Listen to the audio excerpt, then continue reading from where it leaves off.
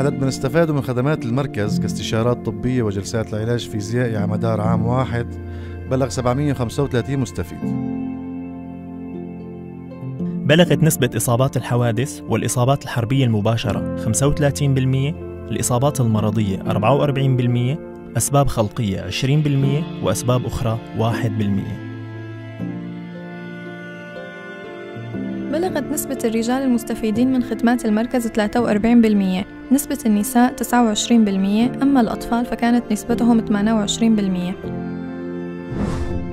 تم توزيع مجموعة من الأجهزة المساعدة مجانا للمستفيدين. 37 كرسي متحرك 24 ووكر 35 زوج من العكازات 400 جهاز متنوع مثل الفرشات الهوائية وجبائر اليد والقدم. وقع المركز مجموعة من الشراكات مع منظمات وجمعيات أخرى تم بموجبها إجراء 278 إحالة.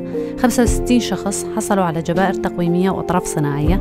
10 أشخاص حصلوا على دورات مهنية. 10 أشخاص حصلوا على منح دراسية. 4 أشخاص حصلوا على مساعدات مادية. أكثر من 35 شخص استفادوا من جلسات العلاج النفسي. بين كبار وأطفال حيث تنوعت الحالات ما بين الاكتئاب والقلق واضطراب الكلب بعد الصدمة PTSD أوسم معا ننقذ الإنسان ونبني الأمل؟